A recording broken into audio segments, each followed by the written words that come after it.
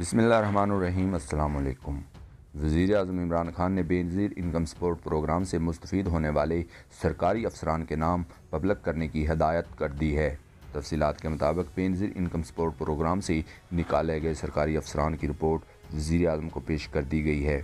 وزیر اعظم کی جانب سے معاملے پر شدید برہمی کا اظہار کیا گیا۔ وزیر اعظم نے ملوث سرکاری افسران کے نام پبلک کرنے کی ہدایت کر دی ہے۔ وزیر اعظم عمران خان نے کہا کہ لوٹ مار کرنے والوں کے نام سامنے لائے جائیں۔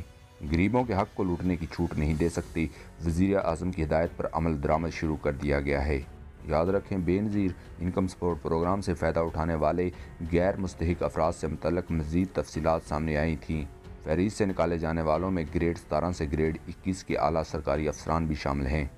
چاروں صوبوں وفاق سے اعلیٰ سرکاری افسران یا ان کے اہل خانہ بھی بے نظیر انکم سپورٹ پروگرام کے تحت وظیفہ وصول کرتے رہے ہیں۔ آٹھ لاکھ سے زائد غیر مستحق افراد میں اعلیٰ سرکاری عہدوں پر فائز افسران بھی شامل ہیں، جو غریبوں کے نام پر جاری کی گئی رقم پر ہاتھ صاف کرتے رہے۔ دستاویز کے مطابق بے نظیر انکم سپورٹ پروگرام سے نکالے جانے والے افراد میں گریڈ ستارہ سے گریڈ اکیس کے دو ہزار پانچ سو ترتالیس افسران شامل ہیں۔ متعدد اعلیٰ سرکاری افسران اپنی بیویوں کے نام پر پیسے وصول کرتے رہے ہیں۔ اس پروگرام سے مستفید ہونے والوں میں گریڈ اکیس کے تین افسران، جبکہ ملک بھر سے گریڈ بیس کے انسٹھ افسران سماہی وظیفہ وصول کرتے رہے۔ لسٹ سے نکالے گئے گریڈ انیس کے افسران کی تعداد چار سو انتیس ہے۔ صرف صوبہ سندھ میں گریڈ اٹھارہ کے تین سو بتالیس افسران نے بے نظیر انکم سپورٹ پروگرام سے فائدہ اٹھایا، جبکہ بے نظیر انکم سپورٹ پروگرام کے چھ افسران نے بھی اسکیم سے فائدہ اٹھایا۔ گریڈ ستارہ کے ایک ہزار دو سو چالیس افسران نے بھی بے نظیر انکم سپورٹ پروگرام سے فائدہ اٹھایا۔